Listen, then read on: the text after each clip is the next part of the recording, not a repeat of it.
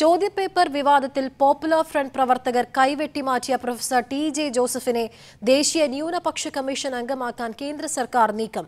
Suresh Gopi T J ജോസഫിനെ സന്ദർശിച്ചു.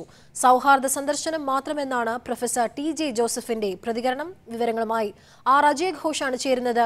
അജയ് ഘോഷ് ഈ കൂടിക്കാഴ്ചയുടെ പ്രാധാന്യം എത്രത്തോളമാണ്? ഈ കൂടിക്കാഴ്ചയുമായി ബന്ധപ്പെട്ട് ലഭ്യമാകുന്ന വിവരങ്ങൾ എങ്ങനെ?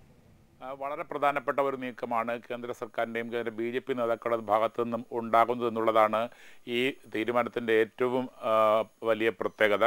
കാരണം ഈ പ്രൊഫസർ ടി ജെ ജോസഫ് എന്ന് പറയുന്നത് നമ്മുടെ സംസ്ഥാനത്തെ ഒരു മത തീവ്രവാദ പ്രവർത്തനത്തിന്റെ ഏറ്റവും വലിയ ഇരയായിട്ടുള്ള ഒരു വ്യക്തിയാണ്.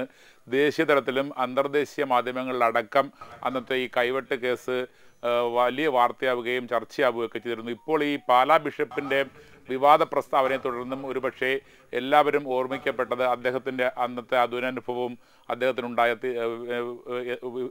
അനുഭവങ്ങളും ഒക്കെ ആയിരുന്നു ഇങ്ങനെയൊക്കെ നിൽക്കുന്ന ഒരു സമയത്താണ് ഒരു പ്രധാനപ്പെട്ട പോസ്റ്റിലേക്ക് ആ പോസ്റ്റ് എന്ന് പറയുന്നത് ദേശീയ ന്യൂനപക്ഷ കമ്മീഷൻ അംഗമായിട്ട് അദ്ദേഹത്തെ നിയമിക്കാനും അതുവഴി ഒരുപക്ഷെ രാഷ്ട്രീയമായിട്ടുള്ള ലാഭമുണ്ടാക്കാനുമൊക്കെ ബി ജെ പി ശ്രമിക്കുന്നു എന്നുള്ള ഒരു പ്രത്യേകതയാണ്. സുരേഷ് ഗോപി എം പി തന്നെ അദ്ദേഹത്തിന്റെ വീട്ടിൽ നേരിട്ട് പോയി ഈ ചർച്ചകളൊക്കെ നടത്തി പ്രാഥമിക ധാരണയായിട്ടുണ്ട്. അദ്ദേഹം അതിന് സമ്മതിച്ചിട്ടുണ്ട്.